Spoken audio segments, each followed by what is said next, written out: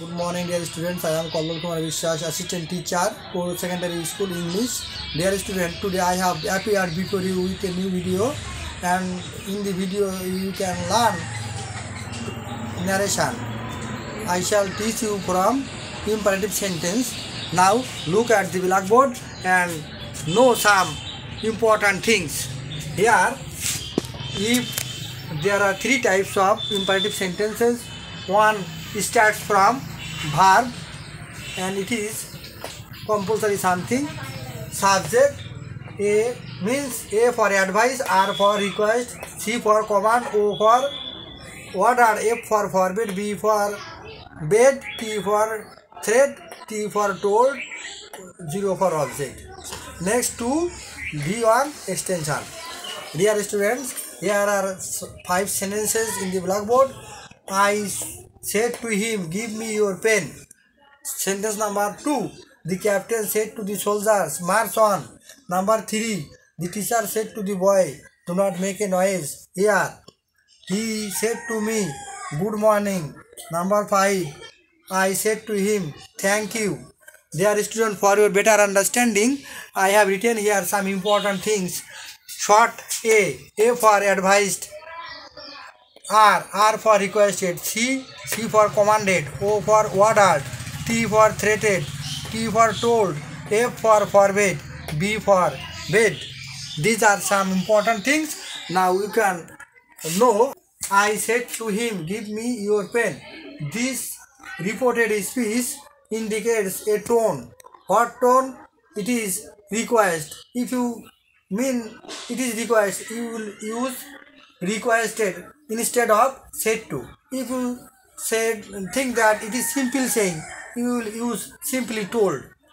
I told him I told him to give me his pen. Next, the captain said to the soldiers, march on. This reported speech indicates command. So you will use command. The captain commanded C O M M A N D E D commanded the soldiers to march on. Next, the teacher said to the boys,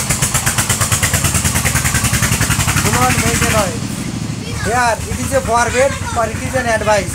You can use advice or forbid.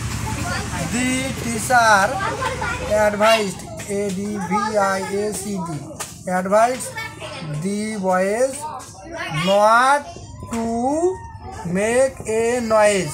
Or you can say the teacher bade forbade F O R B A D E forbade the boys to make a noise. There they are D A C R E they are here will be turned into they are next sentence he said to me good morning he bade he bade he bade me good morning next i said to him thank you i thanked t a c n k e d i thanked him here thank का will come instead of in the place of said to.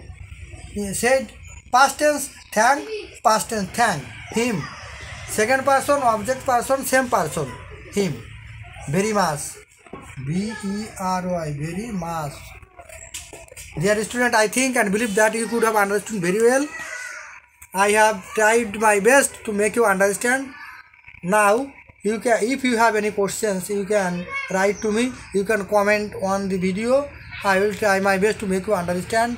I will appear before you with another video another time in another class. Till then, stay safe. Pray for me. If you like my video, you can share with your parents.